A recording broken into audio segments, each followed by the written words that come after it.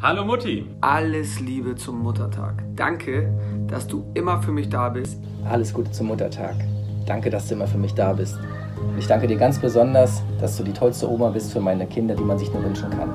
Danke, dass du mir oft an den Wochenenden den Rücken frei hältst, damit ich meinem geliebten Hobby nachgehen kann. Danke für alles, Mama. Danke, dass es dich gibt, Mama. Danke für deine unendliche Liebe. Ein riesiges Dankeschön an dich, dass du mich immer so tatkräftig unterstützt, dass du immer für mich da bist, dass du immer Tipps und Tricks auf Lager hast, wie es weitergeht und auch wenn mal ein Spiel nicht so gut läuft, du mich trotzdem motivierst und mich immer wieder auf den richtigen Weg bringst, vor allen Dingen, dass ich weitermache und dass ich nicht aufhöre an mich zu glauben. Äh, ich danke dir dafür, dass du mich schon damals immer beim Fußball unterstützt hast und dass du auch die ein oder andere zerrissene Hose in Kauf genommen hast. Danke, dass du mich auf meinem Weg begleitet hast.